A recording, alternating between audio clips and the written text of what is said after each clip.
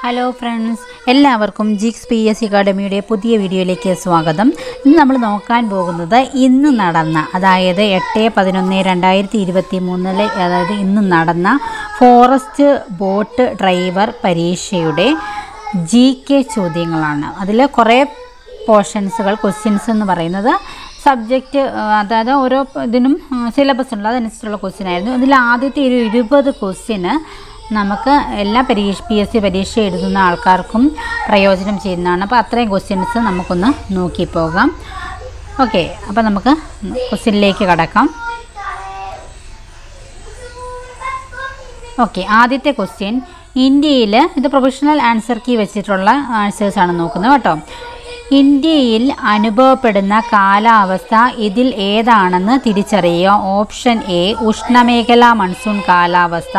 Option B മിതോഷ്ണ മേഖലാ കാലാവസ്ഥ. രണ്ടാമത്തത് ശീതോഷ്ണ മേഖലാ കാലാവസ്ഥ എന്നാണ് പറയുന്നത്. ക്വസ്റ്റ്യൻ പേപ്പർ കോഡ് എ ആണ് കേട്ടോ. അപ്പം ഒന്ന് കണ്ടല്ലോ. അപ്പോൾ ഇതിനകത്ത് ഓപ്ഷൻ എയിൽ വണ്ണും ടൂവും പറയുന്നുണ്ട്. ഉഷ്ണമേഖല മൺസൂൺ കാലാവസ്ഥ മിതോഷ്ണ മേഖല കാലാവസ്ഥ. ബിയിൽ രണ്ടും മൂന്നുമാണെന്ന് പറയുന്നുണ്ട്. സിയിൽ ഒന്ന് മാത്രം എന്ന് പറയുന്നുണ്ട്. ഡി മൂന്നാണ് പറയുന്നത്. അപ്പോൾ ഇതിന്റെ കറക്റ്റ് ആൻസർ വരുന്നത് ഓപ്ഷൻ സി ആണ്. ഒന്ന് മാത്രം എന്നുള്ള ഇതാണ് കറക്റ്റായിട്ട് വരുന്നത്. ഏതാണ്? ഇന്ത്യയിൽ അനുഭവപ്പെടുന്ന കാലാവസ്ഥ ഇതിൽ ഏതാണെന്ന് തിരിച്ചറിയുക. ഒന്ന് മാത്രം എന്നുള്ളത് ഉഷ്ണമേഖല മൺസൂൺ കാലാവസ്ഥ എന്നുള്ളതാണ് കറക്റ്റായിട്ടുള്ള ആൻസർ നെക്സ്റ്റ് എക്കൽ മണ്ണിന്റെ സവിശേഷതകളിൽ ഉൾപ്പെടാത്തത് താ ഉൾപ്പെടാത്തത് താഴെ പറയുന്നവയിൽ ഏതാണെന്ന് കണ്ടെത്തുക എന്നാണ്. അലിയുന്ന ലവണങ്ങൾ ഈ മണ്ണിൽ കാണപ്പെടുന്നു. ഇന്ത്യയിലെ ഏറ്റവും പ്രധാനപ്പെട്ട മണ്ണിനമാണിത്. പഴയ എക്കൽ മണ്ണ് അറിയപ്പെടുന്നത് ഖാദർ എന്നാണ്. അപ്പോൾ രണ്ടിന്റെ ആൻസർ വരുന്നത് ഓപ്ഷൻ സി ആണ്. ഒന്നും മൂന്നുമാണ്. കേട്ടോ ഉൾപ്പെടാത്തത്. ഉൾപ്പെടുന്നതാണ് ഇന്ത്യയിലെ ഏറ്റവും പ്രധാനപ്പെട്ട മണ്ണിനമാണെന്ന് പറയുന്നത് ഉൾപ്പെടുന്നു. ഓക്കെ ആണല്ലോ. മൂന്നാമത്തെ ക്വസ്റ്റ്യനിലേക്ക് പോകാം. താഴെ പറയുന്നവയിൽ ഹിമാലയൻ നദികളെക്കുറിച്ചുള്ള തെറ്റായ പ്രസ്താവന കണ്ടെത്തുക തെറ്റായ പ്രസ്താവന കണ്ടെത്താനാണ് പറഞ്ഞിരിക്കുന്നത്. ഹിമാലയ നദികൾ വഴി രൂപം കൊണ്ട ഏറ്റവും വലിയ ഡെൽറ്റയാണ് സുന്ദർബൻ ഡെൽറ്റ. ഹിമാലയ നദികൾ യു ആകൃതിയിലുള്ള താഴ്വരകൾ ഉണ്ടാക്കുന്നു. ഹിമാലയ നദികൾ ഡെക്കാൻ പീഠഭൂമിയിലേക്ക് ജലസേചനം നൽകുന്നു. ഇതിൽ രണ്ടും മൂന്നുമാണ് തെറ്റായിട്ടുള്ള പ്രസ്താവന. അത് വരുന്ന ഏതാണ്? ഓപ്ഷൻ സി ആണ്. പല്ലവ രാജാവായ നരസിംഹവർമ്മന്റെ കാലത്ത് മഹാബലിപുരത്ത് ഒറ്റക്കല്ലിൽ നിർമ്മിച്ച ക്ഷേത്രങ്ങൾ അറിയപ്പെട്ടിരുന്നത് ഏതു പേരിലാണ്? അപ്പം അതിന് ആൻസർ വരുന്നത് നാലിന്റെ ആൻസർ വരുന്ന ഓപ്ഷൻ ബി ആണ്. പഞ്ചരഥങ്ങൾ എന്നാണ് അറിയപ്പെട്ടിരുന്നത്. ഒന്നാം പഞ്ചവത്സര പദ്ധതി കാലത്ത് ഇന്ത്യയിൽ അടിസ്ഥാന മേഖലയുടെ വികാസത്തിനായി വൻകിട ജലസേചന പദ്ധതികൾ സ്ഥാപിക്കുകയുണ്ടായി. അണക്കെട്ടുകൾ ഇന്ത്യയുടെ വികസനത്തിന്റെ മഹാക്ഷേത്രങ്ങളാണെന്ന് ഏത് അണക്കെട്ട് ഉദ്ഘാടനം ചെയ്തുകൊണ്ടാണ് നെഹ്റു പ്രഖ്യാപിച്ചത്?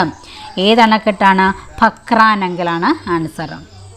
ആറാമത്തെ ക്വസ്റ്റ്യൻ താഴെ പറയുന്ന പ്രസ്താവനകൾ ഏതു സംഘടനയുമായി ബന്ധപ്പെട്ടിരിക്കുന്നുവെന്ന് കണ്ടെത്തുക.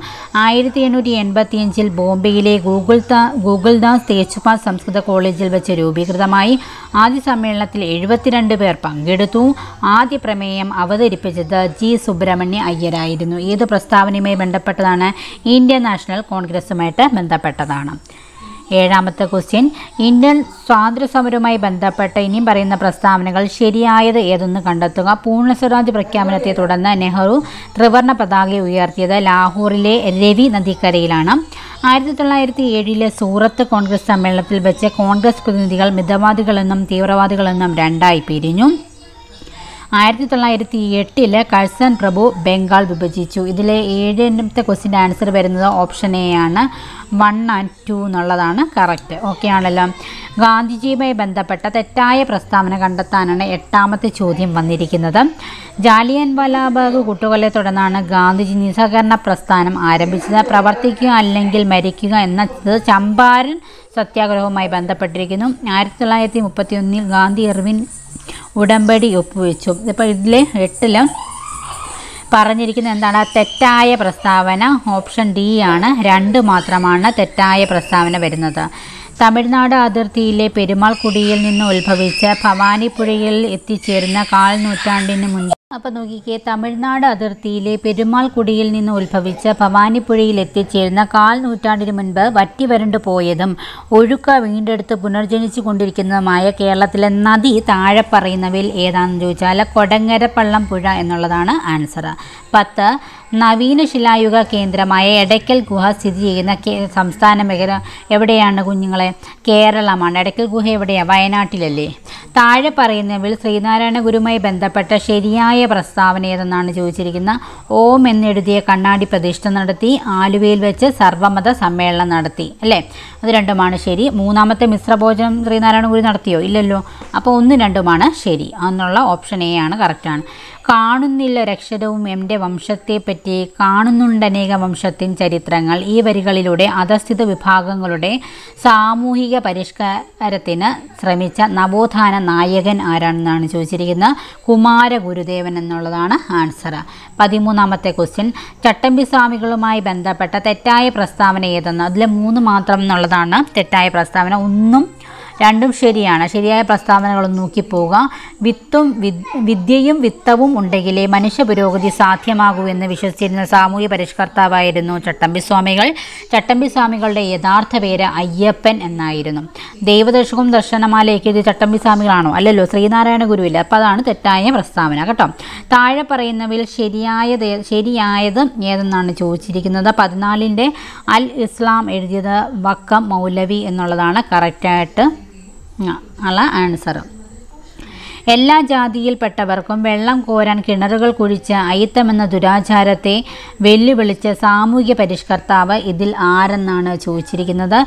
ചട്ടമ്പിസ്വാമികൾ ബ്രഹ്മാനന്ദ സ്വാമി ശിവയോഗി തൈക്കാടയ്യ വൈകുണ്ഠസ്വാമികൾ. വൈകുണ്ഠസ്വാമികൾ എന്നുള്ളതാണ് കറക്റ്റ് ആൻസർ വരുന്നത്. പതിനാറ് ജുനസ് വൺ ഉപഗ്രഹവുമായി ബന്ധപ്പെട്ട് ശരിയായ പ്രസ്താവന ഏതെന്ന് കണ്ടെത്തുക. അപ്പോൾ പതിനാറിന്റെ ആൻസർ വരുന്നത് ഓപ്ഷൻ സി ആണ്. ഒന്നും രണ്ടുമാണ്. അപ്പോൾ അതൊന്ന് വായിച്ചു പോകാം. ലോകത്തിലെ ആദ്യത്തെ ക്ലൗഡ് നിർമ്മിത പ്രദർശന ഉപഗ്രഹമാണിത്. ഏത്? Janus one I S R വികസിപ്പിച്ച S L V D two റോക്കറ്റിന്റെ സഹായത്തോടെ അടുത്തിടെ ഈ ഉപഗ്രഹം വിജയകരമായിട്ട് പരീക്ഷിച്ചു. പതിനേഴാമത്തെ ക്വസ്റ്റ്യൻ ഫുട്ബോൾ ചരിത്രത്തിൽ ആദ്യമായി ഏതു രാജ്യമാണ് ഒരു മത്സരത്തിൽ വൈറ്റ് കാർഡ് ആരംഭിച്ചത്? ഏതാണ് ചോദിച്ചാൽ പതിനേഴിന്റെ ആൻസർ ഓപ്ഷൻ സി ആണ് പോർച്ചുഗൽ. ഇവരിൽ ആരെയാണ് ബ്രിക്സ് ന്യൂ ഡെവലപ്മെന്റ് ബാങ്കിന്റെ പുതിയ പ്രസിഡന്റായിട്ട് തിരഞ്ഞെടുക്കപ്പെട്ടത്? ആരെയാണ്? Dilma Rousseff. ദിൽമ റൂസഫിനെയാണ്. പത്തൊൻപത് രണ്ടായിരത്തി ഇരുപത്തിരണ്ടിലെ സാഹിത്യത്തിനുള്ള നോബൽ സമ്മാനം നേടിയ ആനി എർണാക്സ് എത്രാമത്തെ നോബൽ നേടുന്ന ഫ്രാൻസിൽ നിന്നുള്ള എഴുത്തുകാരി എന്നാണ് പത്തൊമ്പത് ചോദിച്ചിരിക്കുന്നത്. ഓപ്ഷൻ എ ആണ് പതിനാറാമത്തെ ആണ് കേട്ടോ. രണ്ടായിരത്തി ഇരുപത്തി മൂന്ന് ഓസ്കാർ പുരസ്കവുമായി ബന്ധപ്പെട്ട ശരിയായ പ്രസ്താവന ഏതെന്നാണ് ചോദിച്ചിരിക്കുന്നത്. ഇരുപതിന്റെ ആൻസർ വരുന്നത് ഓപ്ഷൻ ഡി ആണ്. ഒന്നും മൂന്നുമാണ് ആ ശരിയായ പ്രസ്താവനകളൊന്ന് വായിക്കാം. മികച്ച ഡോക്യുമെന്ററി ഷോർട്ട് ഫിലിമായി തിരഞ്ഞെടുക്കപ്പെട്ടത് ദ എലഫന്റ് വിസ്പേഴ്സ് ആണ് മികച്ച ഒറിജിനൽ സോങ്ങിനുള്ള ഓസ്കാർ പുരസ്കാരം നേടിയ നാട്ടുനാട്ടുവിന്റെ സംഗീത സംവിധായകൻ എം കീരവാണിയാണ്. ഇതെല്ലാം രണ്ടും കറക്റ്റാണ് അല്ലേ? അപ്പോൾ അത്രയേ ഉള്ളൂ. അപ്പോൾ ഇന്ന് നടന്ന ഈ എക്സാമിൽ ഇരുപത് ക്വസ്റ്റ്യൻസ് എല്ലാ പി എസ് സി പരീക്ഷകൾക്കും ആവശ്യമായിട്ടുള്ളതാണ്. അപ്പോൾ ഇരുപത് ചോദ്യങ്ങൾ നിങ്ങൾ മസ്റ്റായിട്ടും നോക്കി പോകുക. അപ്പോൾ അത്രയേ ഉള്ളൂ. പഠിക്കുന്ന കൂട്ടുകാരിലേക്കൊക്കെ വീഡിയോ ഒന്ന് ഷെയർ ചെയ്യുക സപ്പോർട്ട് ചെയ്യുക നെക്സ്റ്റ് വീഡിയോയിൽ വീണ്ടും കാണാം. എല്ലാവർക്കും ബൈ